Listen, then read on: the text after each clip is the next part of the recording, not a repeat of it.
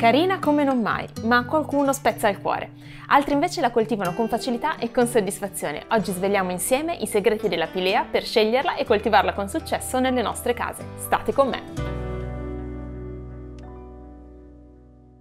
Io sono Alice e se non ci conosciamo ti do il benvenuto sul nostro canale. Qui parliamo di piante, di come curarle, di come creare intorno a noi un ambiente più bello, più sano e in questa playlist che ho chiamato Plant Focus dedichiamo di volta in volta un approfondimento ad una pianta protagonista nelle nostre case, per imparare a curarla e a conoscerla al meglio. Oggi parliamo della Pilea peperomioides, iniziando dalla provenienza e dal nome. In natura esistono circa 200-400 specie di pilea diverse, alcune sono facili da trovare nei nostri garden e hanno tutte delle foglioline molto colorate e molto decorative. Qui oggi però noi parliamo della più famosa che è la Pilea peperomioides, che è anche chiamata con buffi nomi come pianta UFO, pancake plant, pianta delle monete, proprio per la caratteristica forma circolare delle sue foglie che ispira dei nomi buffi e anche un po' simpatici. Secondo l'Enciclopedia delle piante RHS, la pilea è originaria della Cina e il suo nome, pilea appunto, viene dal latino pileus che significa cappello. Effettivamente le sue foglie sarebbero carine anche come copricapo. È considerata una pianta portafortuna e nel linguaggio delle piante simboleggia l'abbondanza e la prosperità. Ecco perché potrebbe essere davvero un bel regalo da fare a qualcuno a cui si vuole bene. Luce e temperatura. La pilea è una pianta abbastanza esigente in termini di luce, ha bisogno di essere posizionata vicino ad una bella finestra dove riceve diverse ore di luce intensa, evitando però sempre i raggi più diretti delle ore più calde. In inverno noi la coltiviamo con successo anche sotto alle nostre grow light che teniamo accese per circa 10-12 ore, mentre in primavera ed estate le pilea possono essere portate felicemente in esterno, basta che si scelga per loro una posizione riparata dal sole diretto, ma in questo modo possiamo anche osservare una crescita bella accelerata accelerata. Non sopporta però le temperature sotto i 10-12 gradi, ecco perché quando arriva l'autunno andrà opportunamente riparata in casa acqua e umidità. Tratto le mie pilee proprio come se fossero delle succulente ed effettivamente in parte lo sono perché hanno delle foglie e dei fusticini davvero belli carnosi. Quindi preferisco che la terra si asciughi abbastanza bene tra un'annaffiatura e l'altra, ma non lascio mai che diventi proprio secca secca. Infatti le radicine sono sottili e se facciamo seccare troppo la terra rischiamo che eh, si possano eh, rovinare e poi quindi eh, vedere ingiallire alcune foglie, specialmente le più basse. È una pianta che cresce tuttavia incredibilmente bene in idrocultura e dopo averla propagata in acqua può essere lasciata eh, in barattoli con acqua ed inerti oppure in eh, vasi con riserva che contengano substrati come il PON, il Ceramis oppure anche dell'argilla espansa eh, di piccola pezzatura. Ho notato che coltivandola in idrocultura le sue foglie sono anche più aperte, più distese, quindi devo dire che questa è davvero la tecnica che noi preferiamo per coltivare la pilea. Non ritengo neppure che sia una pianta particolarmente esigente in termini di umidità ambientale, quindi se avete una casa piuttosto secca è una pianta che non dovrebbe risentirne. Due parole sul rinvaso e sul terriccio. Se coltiviamo la nostra pilea in terra, l'importante è scegliere un terriccio che sia soffice e ben drenante. L'ideale è che sia capace di asciugarsi bene e di non trattenere troppo a lungo un'umidità persistente. Eh, magari potremmo a questo proposito aggiungere qualche piccolo inerte proprio per favorire l'ossigenazione delle radici. Quando rinvasiamo le nostre pilea e le rinvasiamo in terra, quello che preferisco fare è scegliere sempre un vaso che sia ben dimensionato alla pianta, che non sia mai troppo grande. In questo modo sono sicura che l'umidità della terra venga ben sfruttata dalle radici e che quindi queste possano rimanere veramente sane e felici all'interno del vaso problemi e parassiti che possono affliggere le nostre pilea. A me è capitato alcune volte di vederla attaccata dalla cocciniglia, in particolare quella cotonosa, ma mai in una forma troppo grave. Eh, infatti capita che qualche volta si annidi magari tra le foglioline nuove all'apice della pianta. Basta una delicata rimozione manuale, magari servendoci di un sottile pennellino, per risolvere facilmente il problema. Se poi capita, per maggiore sicurezza possiamo utilizzare anche dell'olio di lino come barriera naturale.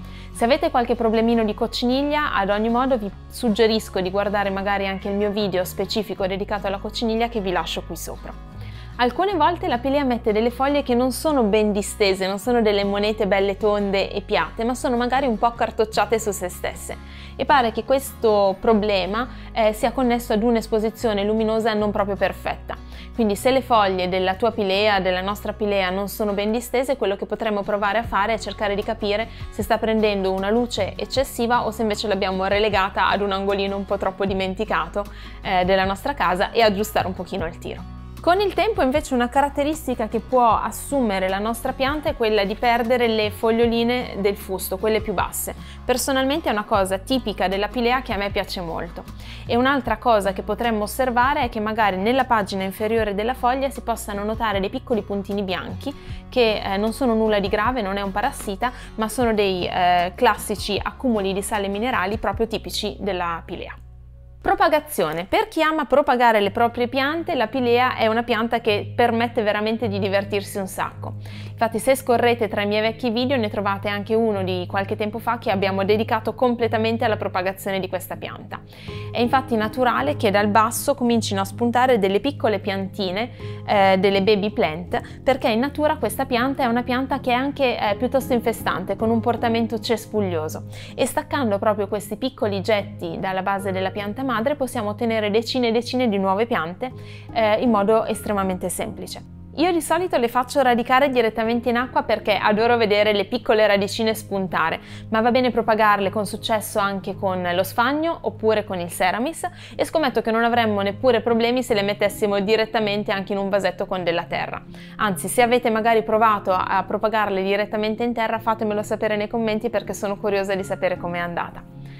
La primavera è sempre il periodo migliore per le propagazioni, ma devo ammettere che noi con le pilea proviamo a propagarle anche in tutti i periodi dell'anno, quindi anche in inverno e di solito non abbiamo mai grossi problemi, magari ci mettono soltanto un pochino di più, ma la soddisfazione non manca mai. Le piantine così ottenute, quindi con propagazione in acqua, in ceramis, in sfagno, sono adattissime per il passaggio poi in coltivazione con tecnica di idrocultura, quindi con substrati inerti. Ma se preferite passarle poi e coltivarle definitivamente in terra, eh, la pilea è una pianta che si adatta abbastanza facilmente al passaggio in terra purché si scelga appunto un vaso non troppo grande ed un terriccio soffice e leggero. Riguardo alla pilea gira una voce che in realtà è una leggenda metropolitana, ovvero che sia possibile propagarla anche solo per foglia. In realtà questo non è vero. Alcune volte può capitare che mettendo anche semplicemente una sua foglia in un bicchiere d'acqua, questa foglia metta le radici, le radici. Ma se non preleviamo insieme alla foglia anche un pezzettino di fusto, è davvero improbabile che possa emettere una gemma o una nuova piantina alla base e quindi diventare poi effettivamente nel lungo periodo effettivamente una nuova pianta pianta. La propagazione per foglia è invece possibile con una cugina della pilea, ovvero la peperomia polibotria, che tante volte viene confusa per una pilea perché si assomigliano moltissimo. La peperomia effettivamente si può propagare per foglia, ma sono due piante differenti e se le osserviamo bene ce ne rendiamo conto. Infatti il fusto della peperomia e quello della pilea sono proprio diversi e anche la forma della foglia è un po' diversa, mentre nella pilea è proprio rotonda, la peperomia invece ha una foglia un po' più cuoriforme. Ultimo capitolo del nostro Plant Focus, meglio saperlo.